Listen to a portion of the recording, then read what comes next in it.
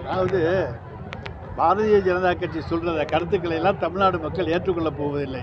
இந்து சமய அறநிலையத்துறை என்பது தமிழகத்தில் உள்ள இந்து கோவில்களுடைய சொத்துக்களை பாதுகாப்பதற்காகவும் அதை நிர்வகிப்பதற்காக அறக்கட்டளைகளை நியமிப்பதற்காகவும் உருவாக்கப்பட்ட ஒரு அமைப்பு. என்ன?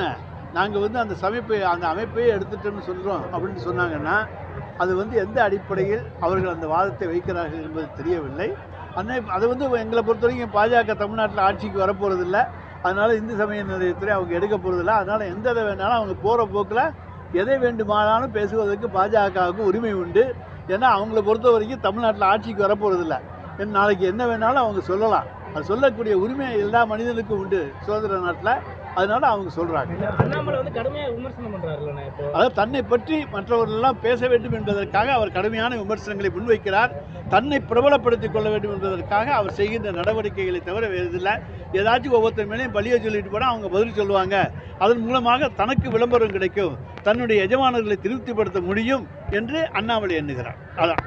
மாவட்டத்தில் தலைவர் தளபதி அவர்கள் அறிவித்துள்ள புரட்சி திட்டமான மகளிர் உரிமை திட்டத்தினுடைய இரண்டாம் கட்டமாக பதினெட்டாயிரத்தி தொள்ளாயிரத்தி நாற்பத்தி ஒன்பது பயனாளிகளுக்கு புதுக்கோட்டை மாவட்டத்தில் இன்றைய தினம் மகளிர் உரிமை தொகை வழங்கப்பட்டிருக்கிறது.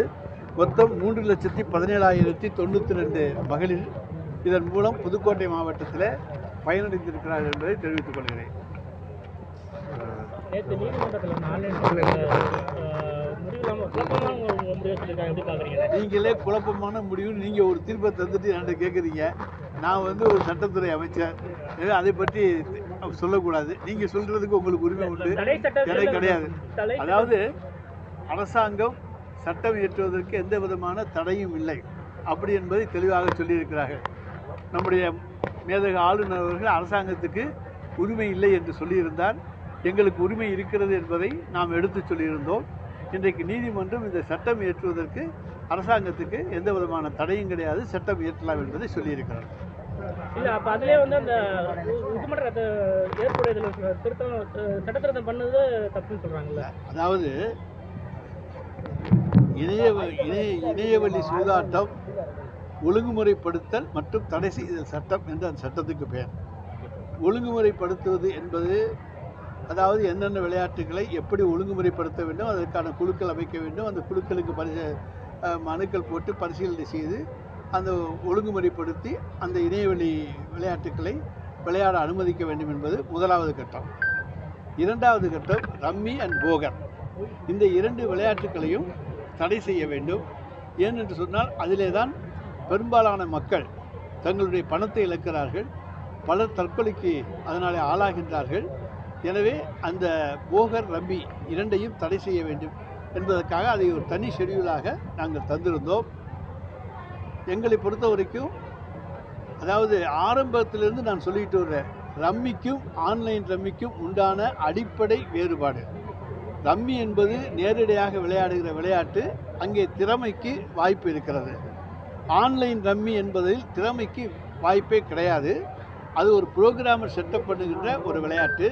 அவர் எப்படி வேண்டுமென்றாலும் அந்த விளையாட்டை செட்டப் செய்து கொள்ள முடியும். எனவே இது திறமை அடிப்படையிலே வராது. எனவே அது வந்து தடை செய்யப்பட வேண்டும் என்பது எங்களுடைய கருத்து. ஆனால் நாங்கள் நீதிமன்றத்தினுடைய திருப்திக்கு ஏற்றவாறு அந்த வாதத்தை முன்வைக்கவில்லையோ என்று நாங்கள் நினைக்கிறோமே தவிர தீர்ப்பை பற்றி நாங்கள் எதுவும் சொல்ல முடியாது. எங்களுடைய வழக்கறிஞர்கள் மிகச் சிறப்பாக அந்த வாதத்தை எடுத்து வைத்திருந்தாலும் கூட நீதியரசர்கள் எங்களாலே அந்த கருத்துக்கே அவர்கள் ஏற்றுக்கொள்கின்ற வகையிலே அவர்கள் திருப்திப்படுகின்ற வகையிலே நாங்கள் கருத்துக்களை எடுத்து வைக்கவில்லை என்று என்ப என்பதைப் போல ஒரு தோற்றம்தான் வருகிறதே தவிர வேறு எதுவும் கிடையாது. ஏன்னால் இந்த தீர்ப்புகளை பற்றி விமர்சிக்கின்ற உரிமை எனக்கு கிடையாது. அதனால் நான் அதுக்கு மேல் போக போறோமாண்ணே அதை பொறு அதை பொறுத்த வரைக்கும் சட்டத்துறை பரிசீலிக்கும். மேல்முறையீடு தேவை என்று சொன்னால் அதுபடி மேல்முறையீடு செய்வோம். ஏன்னா இதிலேயே கூட சில வழிமுறைகளை காட்டியிருக்கிறார்கள். எனவே இதை பற்றியெல்லாம் வந்து சட்டத்துறை பரிசீலித்துத்தான் மற்றும் அரசு வழக்கறிஞர்கள் மற்றும் மற்றும் உச்ச நீதிமன்றத்துடைய வழக்கறிஞர்களுடைய கருத்துக்களை பெற்று அதனுடைய அடிப்படையிலே அடுத்த நடவடிக்கை தொடரும். ஆமாம் அந்த முறைப்படுத்துதல் தான் சட்டத்திலேயே இருக்குங்க. கமிட்டி போடுறோம். கமிட்டி போட்டு அந்த விளையாட்டுகளை ஒழுங்குமுறைப்படுத்துகிறோம். அது குறிப்பிட்ட இதெல்லாம் அதில் வந்து என்னென்ன என்பதையெல்லாம் அங்கே நாங்கள் தெளிவாக சொல்லியிருக்கிறோம். எனவே அந்த சட்டப்படி ஒழுங்குமுறைப்படுத்துகின்ற விளையாட்டுகளை ஒழுங்குமுறைப்படுத்தி நடத்தப்படும். அது வந்து ஒரு ரம்மிக்கும் போகருக்கும் வயது வரம்பு கால வரம்பு போன்றவையெல்லாம் நிர்ணயிக்க வேண்டும் என்று உச்ச உச்ச இது நம்முடைய உயர்நீதிமன்றம் சொல்லியிருக்கிறது. அது பற்றி எந்த அளவுக்கு பரிசீலிக்க முடியுமோ பரிசீலித்து என்ன அடிப்படையில் அவற்றையெல்லாம் நிறைவேற்ற முடியுமோ அதை நாங்கள் செய்வோம். தீபாவளி சிறப்பு பட்டிமன்றம். தீபாவளியை முன்னிட்டு வரும் ஞாயிற்றுக்கிழமை காலை ஒன்பது மணிக்கு மற்றும் மறு ஒளிபரப்பு மாலை ஐந்து மணிக்கு காண தவறாது